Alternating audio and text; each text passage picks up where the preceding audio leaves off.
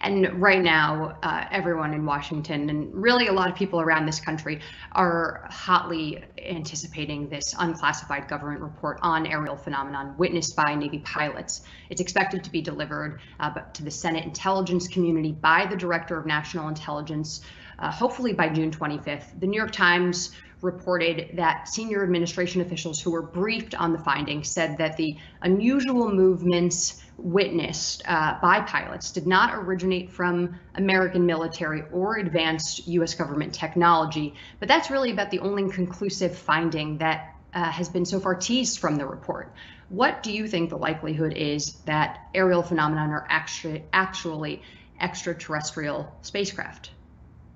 Well, Jackie, that that's really the question, isn't it? Uh, the bottom line is up up until very recently, there were really only only three possibilities of what this could be, and the first possibility is that it is some sort of secret U.S. tech that somehow uh, we have managed to keep secret even from ourselves for for a long period of time. The second option is that it's some sort of foreign adversarial technology that has somehow managed to technologically leapfrog ahead of our country, uh, despite having a, a, fairly robust and comprehensive in, in intelligence apparatus.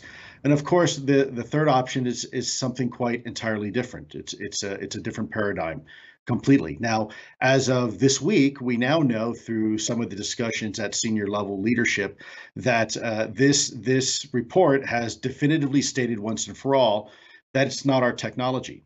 Uh, and that's that's hugely important. For 30 years, there has always been this undercurrent, if you will, these conspiracies that there was some sort of TR3B program and some sort of uh, of super special technology that has been implemented, and we've been uh, just been very careless about it. And I think that argument was finally put to bed this week. Uh, so that really only leaves two other options and that's again it's foreign adversarial or it's it's it's something quite different. And i think we're now beginning to learn as we've heard from the director of national intelligence and i can certainly tell you from my experience that we're pretty confident that it's not russian or or chinese technology. And there's several reasons for that that if you like i'm, I'm more than happy to go into